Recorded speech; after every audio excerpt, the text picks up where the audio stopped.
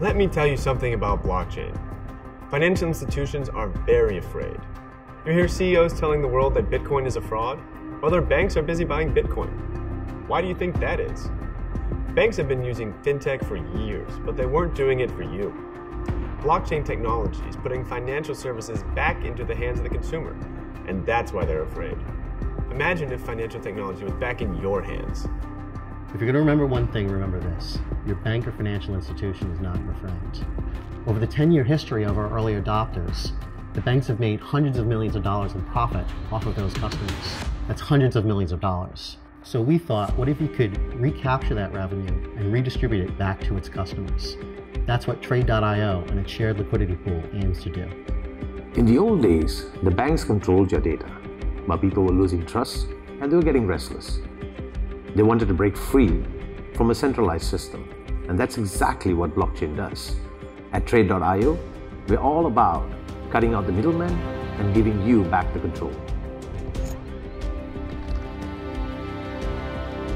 We have 20 plus years of experience in trading, investment banking, compliance, risk management, and of course the underlying technology such as blockchain.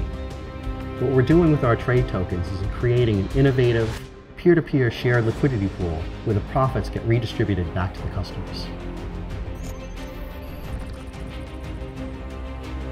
This is why we're so excited about our shared liquidity pool.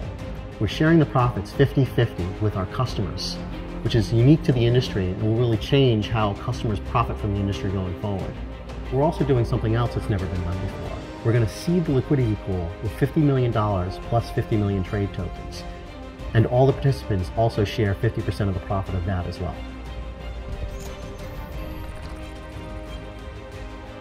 Right now, if you have just 5,000 trade tokens in your e-wallet, you can dive into Trade.io's deep liquidity pool Trading revenue streams on the Trade.io platform include spreads, commissions, aggregation, risk positions, and margin interest. And then there's non-trading revenues, transaction and placement fees, and interest borrowing. But all this technology would mean nothing if wealth was not distributed. But it is distributed. 50% of all revenue is shared back with the community, meaning instant results in your e-wallet blockchain has the power to revolutionize the way we do business, and Trade.io just harness that power for you.